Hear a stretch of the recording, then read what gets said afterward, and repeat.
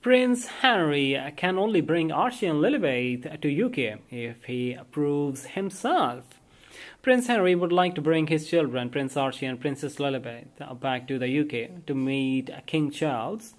The British king, who is presently receiving cancer treatment, is missing his grandchildren, according to reports.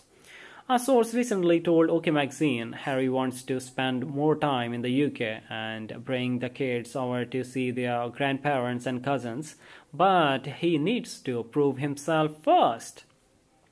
That has been made very clear to him. Since King Charles' cancer diagnosis and Harry's hasty visit over the pond, I believe it has hit home for Harry how important family is to him. I expect uh, he will uh, he will want to bring his children, Lilibet and Archie, to the UK to see their grandfather. Lynn told the Mirror.